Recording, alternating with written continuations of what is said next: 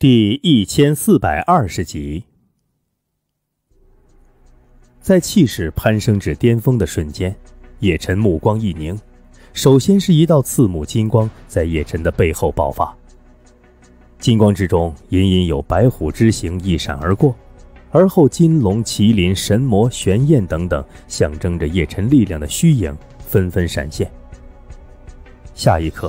一股滔天威势猛然自叶辰体内冲天而起，那阵盘光芒狂闪，却丝毫无法阻挡这股气息的爆发，连高空之中的风云都在这股威势的刺激之下隐隐变色。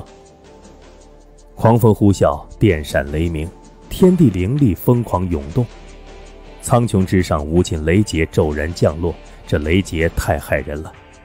就算封门强者突破，也不可能如此恐怖啊！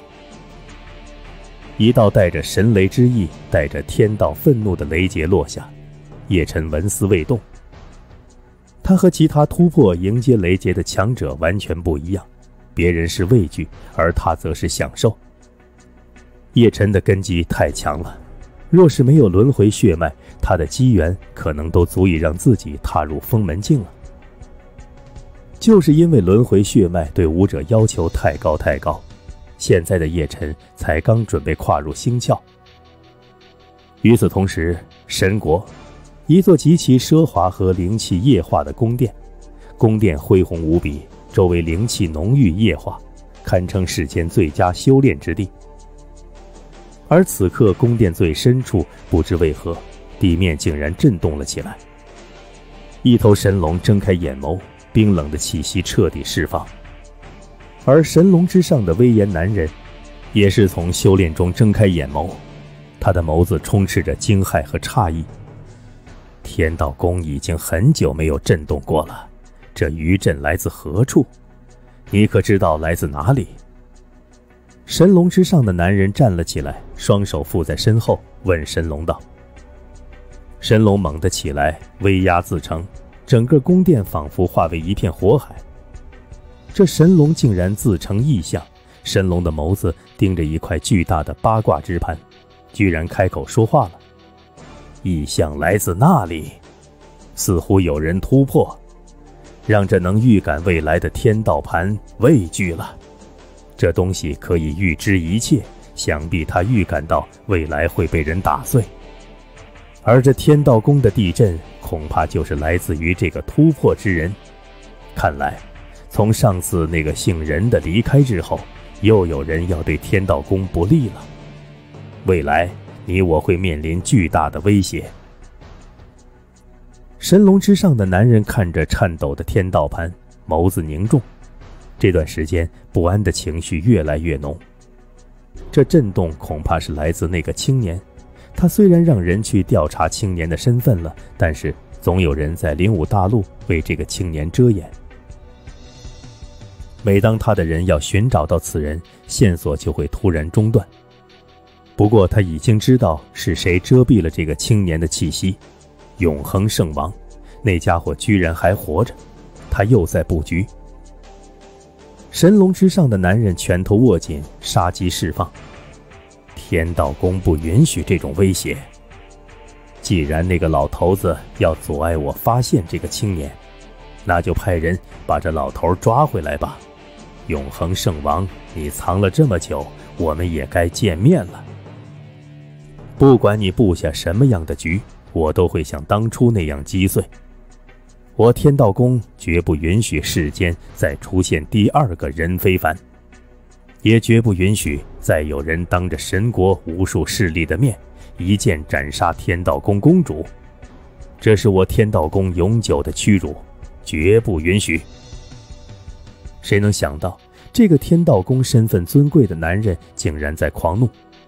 说完，他手中凝聚雷电，一掌向着天道盘砸去。天罚神雷，我倒是要看看那个神秘青年能不能承受住。天雷越来越恐怖，此刻的叶晨眉头微微一皱，这雷劫怎么变了？似乎和刚才的雷劫完全不同。他扫了一眼苍穹，渐渐形成一道虚影的神雷，脸色微变。这天雷竟然蕴含天罚之力，天道要诛杀自己。这一刻，叶辰不再犹豫，周身释放极其恐怖的威势。寿朽剑握在手心，赤诚神脉，开；无尽魔躯，开；不朽神体，开。天罚又如何？今日我叶辰便要对抗这天罚之威。这一剑，我斩世界不公，我斩命运枷锁。枫林之内异象震天，但是这诡异的一幕在枫林之外却是见不到分毫。时间一分一秒的流逝，天空之中的异象却没有丝毫减弱的迹象，反而愈演愈烈。一个时辰之后，这片枫林的另一处，几名青年男女同时进入了这枫林之中。在进入的瞬间，他们便是一同抬起头，朝着高空看去。显然注意到了叶辰突破之时引发的天象，而更让人吃惊的是，这几人赫然都是封门境强者，其中修为最低的一名女子都是封门境二层天的存在，看上去年龄也不过二十五六岁而已。而其他几人最年长的一名男子，也不过是三十岁左右的年纪，他的修为却已经达到惊悚的封门五层天。这几人显然都是妖孽呀，无可比拟的妖孽呀。三十岁的封门境五层天，拿到灵武大陆之上，恐怕能秒杀一大片天才了吧？都足以登上灵武登玄榜了吧？而这名男子竟然还不是最强的存在，几人之中最强的是一名封门境六层天的男子，气息甚至接近七层天。更加不可思议的是。这名青年看上去极其高贵，他的腰间挂着一块玉牌，上面简简单单的两个古老文字“神国”，藏着轮回玄杯的宝贝问世，神国势力也窥伺啊！而且这几人的眼神之中都带着一种莫名的高傲，天才都是高傲的，都自信自己拥有其他人无法比肩的强大天赋，但是这几人的高傲与众不同。这几人的高傲是一种把世间万物都不看在眼中的高傲。若是叶辰在这里的话，一定会发现这几人的眼神和他曾经见过的一个人的眼神很像，那是牧野的眼神。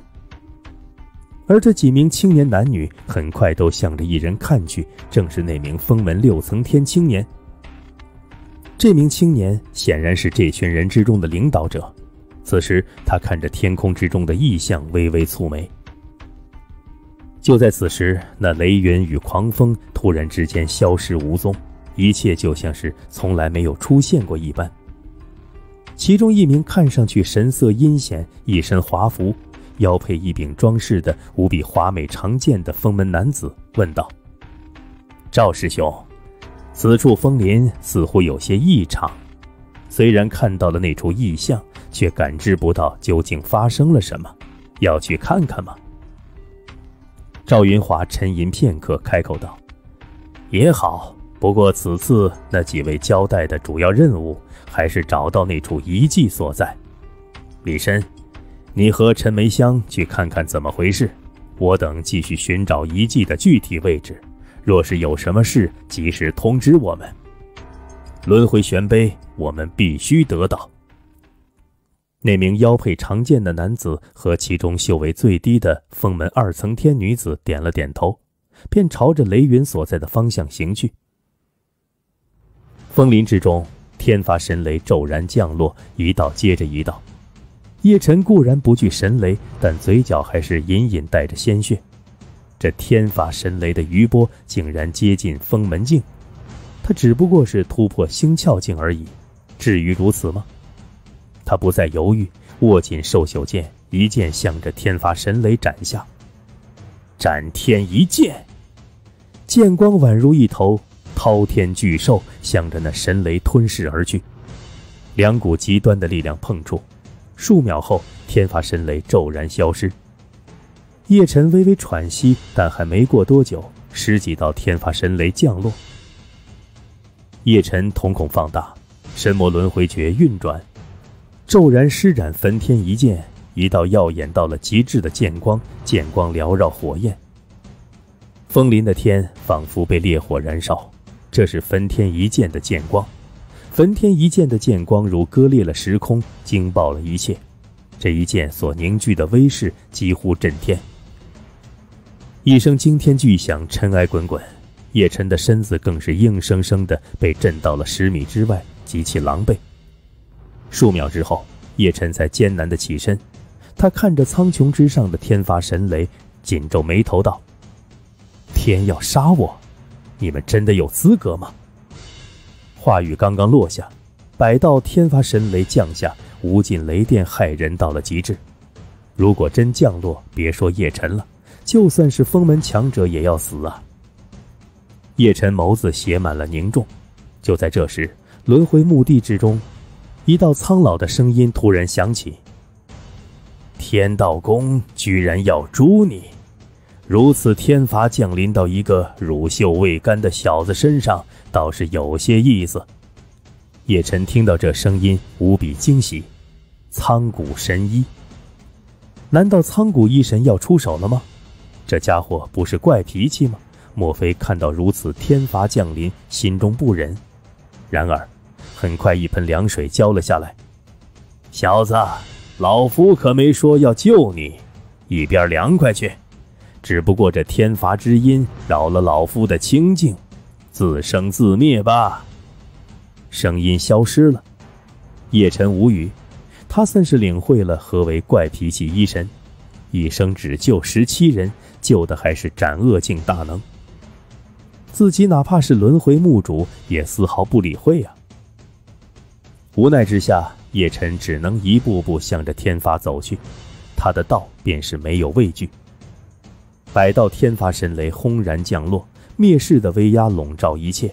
叶晨一口嫣红的鲜血吐出，周身仿佛都要被毁灭。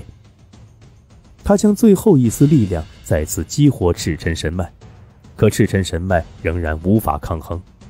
眉心的魔帝正在将玄魔的力量汇聚到血魔剑之中，自然无暇帮助叶辰。风清扬不久前刚掌控过叶辰的身体，自然无法再帮助自己。固然如此，叶辰的眼神从未放弃。